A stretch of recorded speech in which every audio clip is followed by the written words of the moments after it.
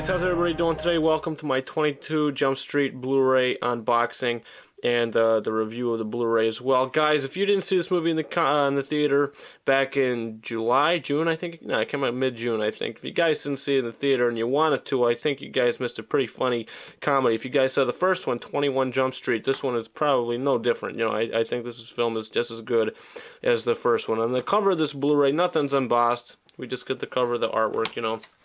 And then on the spine, we get the characters in the, the top and bottom and the nice red spine. I think that's pretty nice uh, how, how that looks. And then on the back, we get a nice little picture there of, of the characters. You know, uh, 22 deleted scenes in this thing. If you guys want to read the synopsis, you pause your video to do that. And then some of the special features around here, you get um, the perfect couple of directors, Lionel Rama. You get a commentary and the Blu-ray exclusives. You get 17 additional scenes plus the five deleted scenes that are originally on there. Uh, everything is better in college. Jenko split video. There's a lot to read here. So guys, if you want to just like you know pause the video or whatever to read these bonus material, we also get the cast list and all that kind of stuff. 5.1 audio. The movie is one hour and 51 minutes long. So I think this is definitely worth your. Uh, worth your money if you guys plan on going and picking up uh, 22, 22 Jump Street on Blu-ray. I definitely think it's your, uh, worth your money. And on the, on the uh, inside here is pretty much the same exact thing.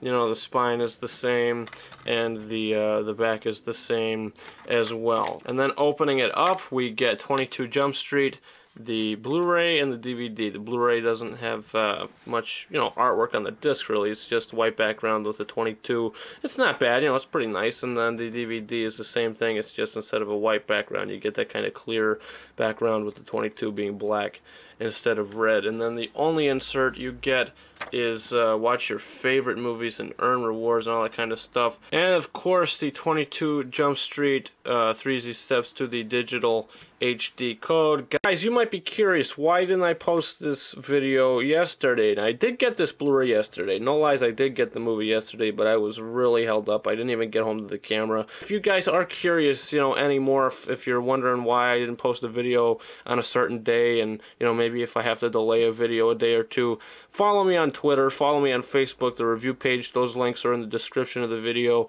and I'll keep all you guys updated on if this kind of thing happens again, you know, or just, you know, when my videos are going to be posted, you know, usually it's it's all it's all really accurate on there. So guys, did you see 22 Jump Street? Comment what's your favorite one, the first one or the second one. Personally for me, I think it's pretty much a tie for for both of these movies. You know, solid 4 out of 5 for both of them. Guys, also coming out this Friday, The Hunger Games Mockingjay Part 1. So the review for that is going to be up. Guys, as always, thank you very much for watching and I hope you subscribe. Over and out.